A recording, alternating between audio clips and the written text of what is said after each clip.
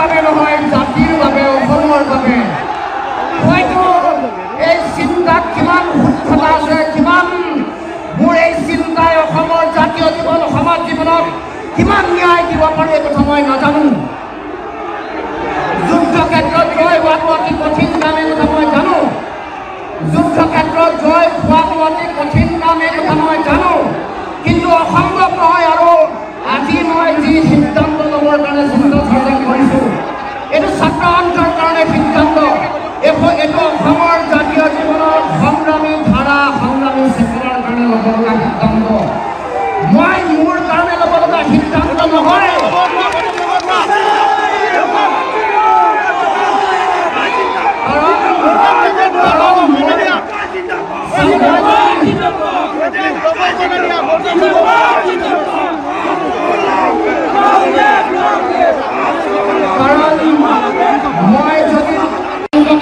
ফলত যিসকল মাতৃৰ বুকু ফুটা হ'ল যি ভাতৃ ভগ্নীয়ে নিজৰ ভাতৃ ভগ্নীক হেৰুৱালে যিসকল যিসকল মাতৃয়ে যিসকল ব্যক্তিয়ে তেওঁলোকৰ সন্তান সন্ততিক হেৰুৱালে সেইসকলে অনুভৱ কৰিব হেৰুৱাৰ বেদনা কিমান।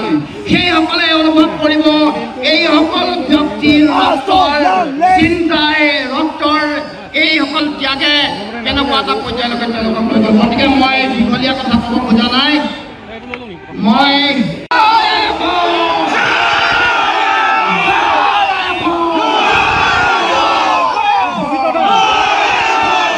অসম ছাত্ৰ সন্থা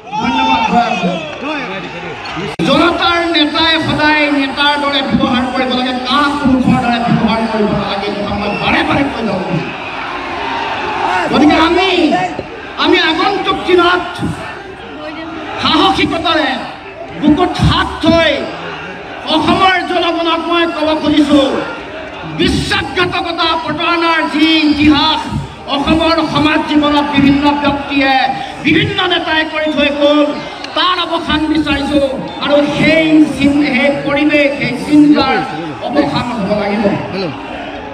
কা গণ আন্দোলনৰ সময়ত পাঁচগৰাকী শ্বহীদৰ তেজ যিসকলে দেখা নাই তেজৰ মূল্যৰ তেজক শ্বহীদৰ তেজৰ প্ৰকৃত মূল্যায়ন যিসকলে কৰিব নোৱাৰে যিসকলে সেই সময়ত কা গণ আন্দোলনৰ নাৰী আৰু ছাত্ৰীৰ ওপৰত বেত্ৰাঘাতৰ সংজ্ঞা যিসকলে শুদ্ধকৈ নিৰূপণ কৰিব নোৱাৰে সেইসকলে জাতিক কেতিয়াও ভাল পাব নোৱাৰে সেইসকলে জাতিক কেতিয়াও ন্যায় প্ৰদান কৰিব নোৱাৰে।